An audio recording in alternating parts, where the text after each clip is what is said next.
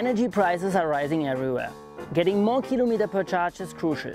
Today, Ralph is going to tell you exactly how to drive more efficiently with your EV.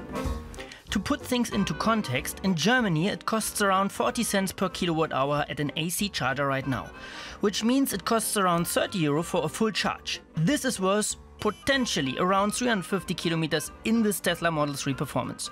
Of course, I have a few tips and tricks to maximize this range, which I will share with you now. And yes, some of these tips also apply to combustion engine machines. Drive consciously. Act instead of react. Avoid standing still moments because the most amount of energy is consumed when you take off from zero. If you really pay attention to the road ahead and the traffic patterns, you will find there are a lot of signs that you can read in advance. After all, you might not need to come to a complete stop if that traffic signal is about to change from yellow to green. Instead, you could slow down just enough, keep the car's momentum going, and then move off once again. Because braking to a complete halt and then driving off once again from zero consumes a lot of energy. So be conscious of your surroundings and act accordingly.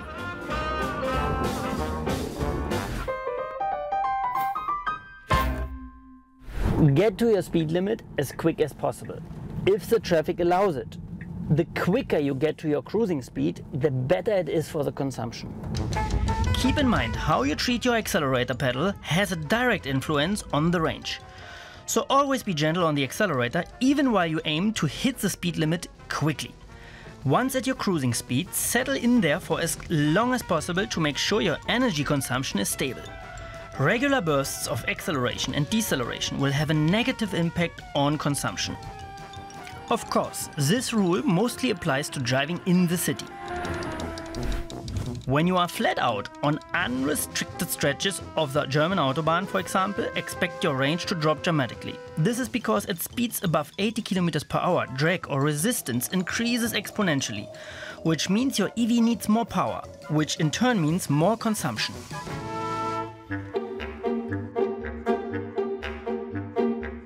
For highways, long stretches and less traffic, cruise control can help you to reduce consumption. Most modern cars, EVs included, come with a lot of driver aids that could potentially help extend range. Cruise control is one of them. When the car's computer is in charge of making changes to the speed, it's often a lot more precise than human input. And especially if a car has predictive or adaptive cruise control, its ability to be energy efficient increases. Of course, some cars also come with Eco Mode, or as it's called Chill Mode in the Tesla, which limits the power on offer, thus potentially conserving energy.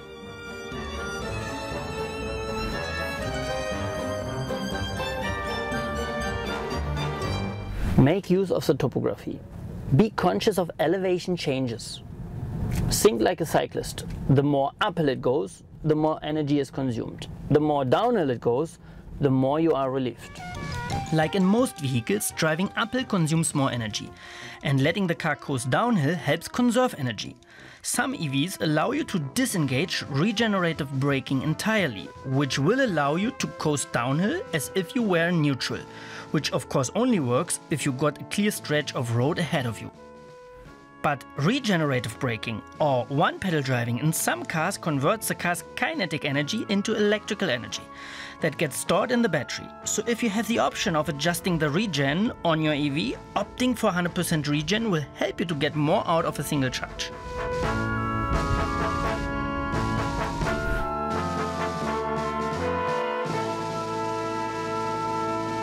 It's all about the wheel. The rim, the tire size, the width, all that has an influence.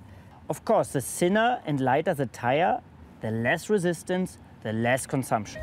You could always opt for thinner tires or lighter rims, but keeping your tire pressure in check is the quickest way to make sure that your EV is driving energy efficiently. When tires are underinflated, the contact patch on the road surface increases, which means the resistance increases, which in turn increases consumption. When the tires are properly inflated, the contact patch on the road surface decreases, decreasing resistance, in turn reducing consumption. A good guideline is to inflate an unloaded car's tire to the pressure that the manufacturer recommends for when the car is fully loaded. Keep in mind though, with higher tire pressure and less contact to the road, both comfort and safety are compromised. So now we will see if my tips really work. First lap, normal driving. For my first run, over the course of a 12 kilometer loop through city traffic, I drove the way a lot of us normally do. I reacted to the traffic around me without thinking ahead, and I didn't really pay attention to how I was treating the accelerator or the brake pedal. At the end of the loop, I got a result.